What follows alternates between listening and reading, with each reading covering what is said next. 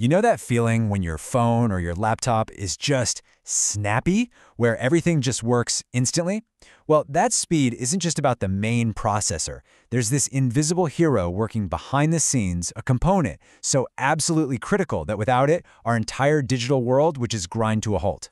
Today, we're going to pull back the curtain on this unsung hero, the data cache. So let's just start with a puzzle. We have these CPUs that are, you know, ridiculously powerful, capable of billions of operations every single second. So why do we still see loading wheels? Why isn't everything just instant? Well, the answer lies in this fundamental traffic jam that's happening deep inside your machine. And this right here shows you the crazy scale of that traffic jam. Just look at this. A single CPU operation, that tiny little bar on the left, takes one clock cycle. Okay, but to go get data from main memory, that monster bar next to it, the CPU has to sit there and wait for over 200 cycles. That's like a world-class sprinter having to stop for three full minutes every single time they need a sip of water. It's a huge, huge bottleneck.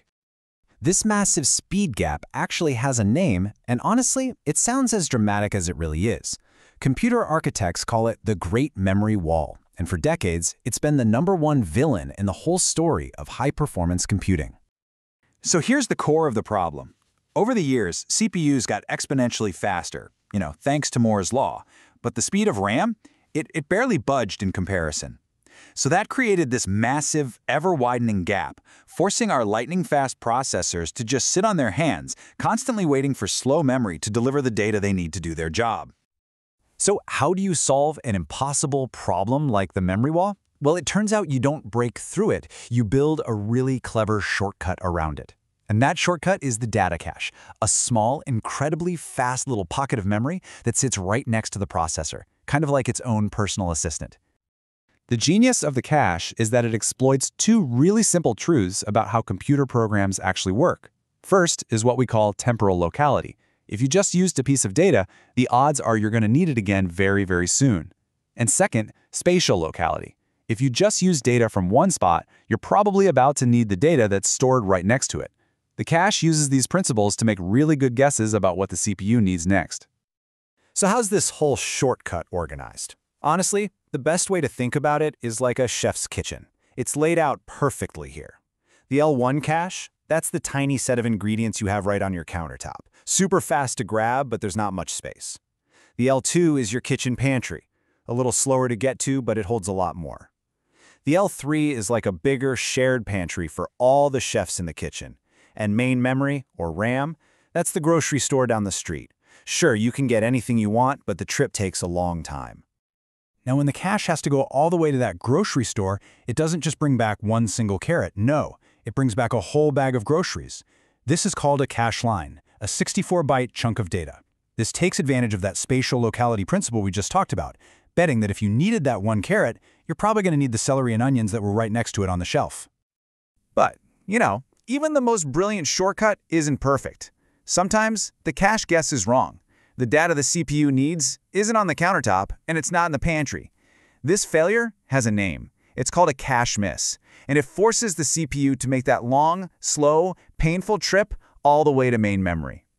And there are three main reasons for a mess, what people often call the three C's. A compulsory miss is just unavoidable. It's the very first time you ever ask for an ingredient, you have to go get it. A capacity miss happens when your countertop is simply too small to hold all the ingredients you need at once. And a conflict miss, this one's a bit like a design flaw in your kitchen, where the only spot for onions is also the only spot for carrots, so you're constantly having to swap them out. Okay, so reading data is one thing, but what happens when the CPU needs to write new information? This introduces a really big trade-off. You've got the write-through method, which is super cautious. It updates both the cache and main memory at the exact same time. It's safe, but it's slow. Then you've got write back, which is the speed demon. It only updates the cache for now and just waits to update memory until it absolutely has to. It's way faster, but it adds a whole lot of complexity to the system. As if that wasn't complicated enough, modern computers make it even trickier. Your computer doesn't have just one chef anymore. It's got multiple cores, and each of those cores has its own private L1 and L2 caches. This creates a brand new problem. How do you keep all the chefs working from the same, up-to-date recipe book? This is what we call the cache coherence problem. I mean, think about it. If one chef changes an ingredient amount in their private little cache, how do all the other chefs find out about that change? If they don't, you could have one chef using a cup of sugar while another is still using the old recipe that called for two. The result would just be complete chaos. So to prevent that kitchen chaos, all multi-core systems have to follow two really strict rules. First, write propagation. Any change made by one core has to, eventually, be seen by all the others. And second, write serialization. If two cores change the same piece of data, everybody in the system has to agree on the exact order that those changes happened. All right, now for a really fascinating twist. The cache, our hero of speed and efficiency, actually has a dark side. The very thing that makes it so fast, its ability to know whether data is close by or far away, can be turned against it to leak some of your most sensitive information. Here's how it works. An attacker can cleverly measure exactly how long it takes for a program to access a certain piece of memory. If the access is super fast, they know that data was just used, and it's sitting right there in the cache. If it's slow, they know it wasn't. By doing this over and over, they can slowly piece together secret information, like your encryption keys, just based on the little ghostly footprints left behind in the cache. And this is not just some academic theory.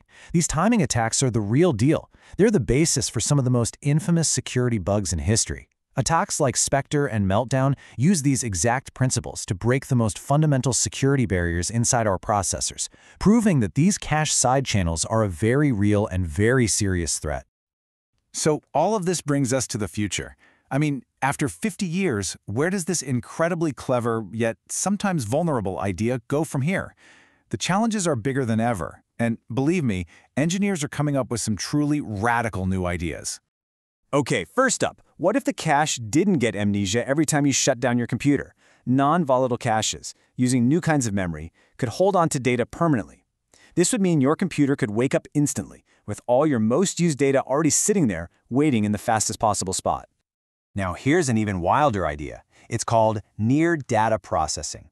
For decades, we spent a ton of energy just hauling data from memory over to the processor. This new model just flips that whole thing on its head. It says, let's put tiny little processors right inside the memory itself.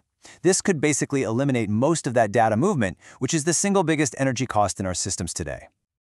And of course, you knew AI was going to get involved. Researchers are now using machine learning to build way smarter caches. So instead of relying on simple, hard-coded rules, these new caches can actually learn your specific program's behavior and then make incredibly accurate predictions about what data you'll need next, pushing efficiency even further than we thought possible.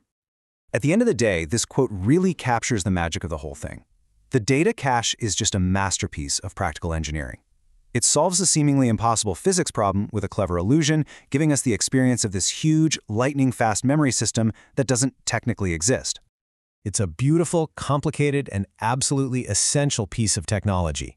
But as our computing needs get more and more complex with AI and these massive datasets, the question becomes, will this 50-year-old idea continue to be our clever shortcut, or is it destined to become the foundation for the next great memory wall?